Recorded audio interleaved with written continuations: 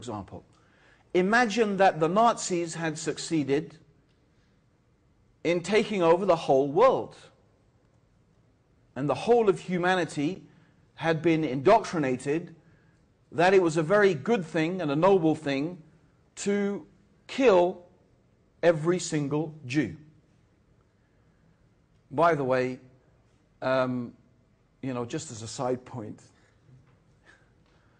you know, I, I always find it strange that some Muslims seem to be, some Muslims seem to get caught up in this, oh, there weren't really six million Jews killed. Or, I, I don't really understand that. It, you know, okay, two million, six million, who, you know, what's the point? I mean, you know, slaughtering human beings en masse is a terrible thing, whatever the number is, number one. Number two, what? You think Europeans aren't capable of slaughtering people en masse? Actually, they're very good at it. They have a nasty propensity in their history for doing it. It's the facts. And uh, just to remind everyone that number two on Hitler's list of uh, inferior races after the Jews was indeed the Arabs. Just to remind you of that. Um, so, anyway, imagine the Nazis took over the world and they persuaded everybody that it was a good idea to kill all Jews.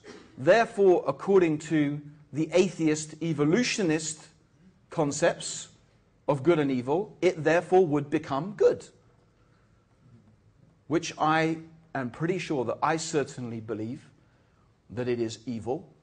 It always is evil.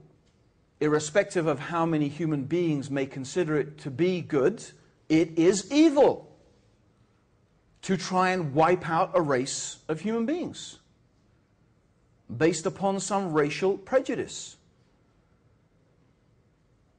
But I believe that absolutely because I have an absolute standard of morality that is not defined by me or my family or my friends or my tribe or my nation or my civilization.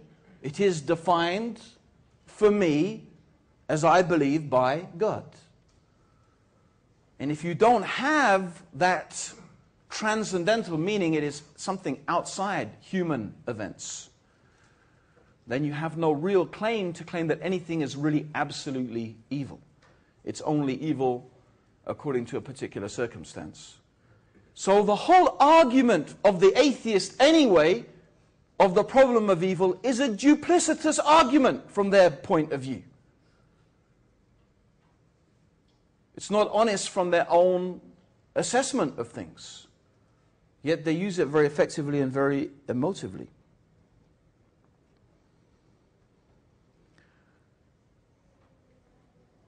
There are lots of issues surrounding the problem of evil, and there are many problems defining what is evil, even if you don't believe in God. What makes something evil? What makes it so bad?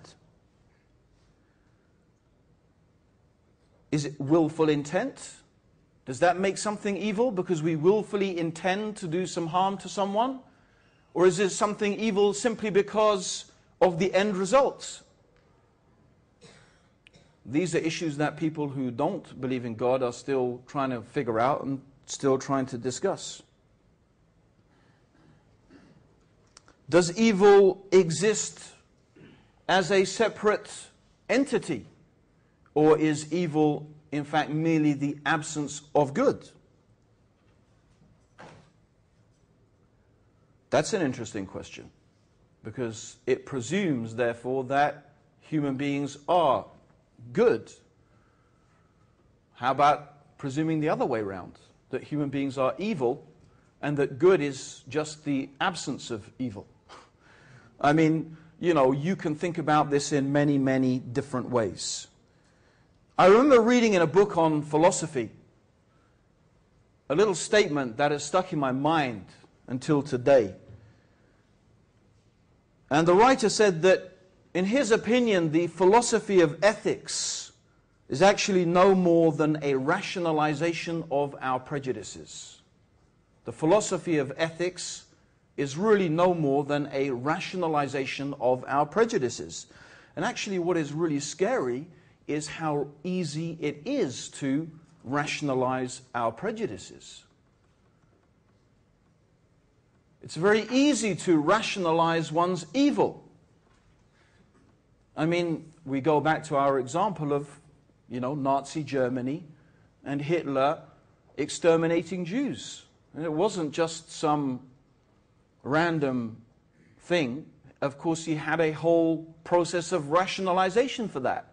What the Jews had done, how they, according to him, were sucking the nation dry, they were, and so on and so forth, and the harm that they caused, and, you know, and he brung historical arguments, economic arguments. These are all rationalizations of his prejudice. And it's actually very easy, and I'm sure every single one of us, sadly, do this all the time. We rationalize our evil. We try and explain it away. We try and make it out as if the bad things that we are doing are really not so bad after all because of A, B, C, D, whatever. These are our rationalizations. Anyway, there are so many topics and so many issues that we could discuss around this problem of evil, and it's only supposed to be, I'm only giving you a taster, an introduction. But fundamentally, the reality is, is that the lecture today is really not about that particular subject, and I just really wanted to introduce these ideas. What I want to go back to is my premise. My premise is that there is a God, that this universe does have a creator. And therefore, to really deal with today's topic, why does God permit suffering on the earth? The reality is, is the only way that we could have certainty in respect to the answer to this question is if God tells us. That's the only way we could know. Because the reality is, human reason has limitations, quite severe limitations. And I would just like to demonstrate the severe limitations of human reason. Can anyone tell me what is behind that door over there? Can anyone tell me? There's no one in this whole, whole room that can tell me what is behind that door? How many you know? Hands up, university students, please. Hands up, university students. And I guess this is a medical school, so I don't know how many of you. If you're, if you're a medic, can you put your hand up as well? Keep your hand up. Yes, yeah, still a few of you. I mean, you know, seven years you're going to be studying, and, you know, our lives are going to be in your hands. Please tell me what's behind the door. I'm scared now. Well, I'm not really, but you know. I mean, I can't expect you to know. I, if someone actually worked here and do you know what's behind the door? There obviously has to be something behind the door. So really? Uh, Air?